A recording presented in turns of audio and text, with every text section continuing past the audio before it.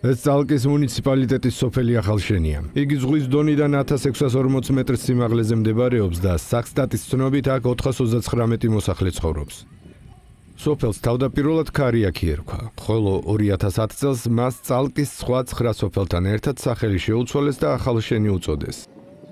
როგორც სოფელში გვეუბნებიან, არაერთი ინფრასტრუქტურული პრობლემა აქვს, თუმცა სოფლის მხარდაჭერის პროგრამის ფარგლებში მოსახლეობამ სასმელი წყლის რკინა-ბეტონის რეზერვუარის მოწყობას დაუჭირა მხარი. რისთვისაც ძალკის მუნიციპალიტეტის მერიამ შპს არწივანს გამარტივებული შესყიდვა დაახლოებით 16500 ლარზე 30 ივნის გაუფორმა. როგორც კომპანიის წარმომადგენელი მამუკა გელაძე გვეუბნება, რეზერვუარის მოსაწყობ ადგილამდე მისასვლელი გზა არ იყო. ის მოაწესრიგეს და სამუშაოებს უახლოეს დღეებში დაიწყებენ. სატენდერო დოკუმენტის მიხედვით სამუშაოების დასრულების ვადა 30 ოქტომბრამდეა.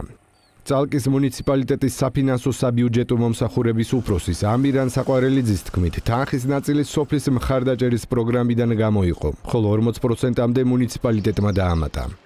რაც შეეხება გამარტივებულ შესყიდვას, გვეუბნება, რომ ეს გადაწყვეტილება ციტატა წალკაში არსებული კლიმატური პირობების გამო მთავრობის განკარგულების საფუძველზე მიიღეს.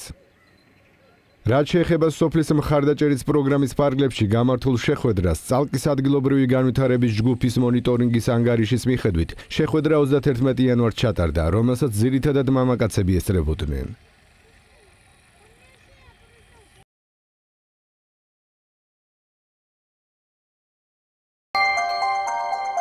Música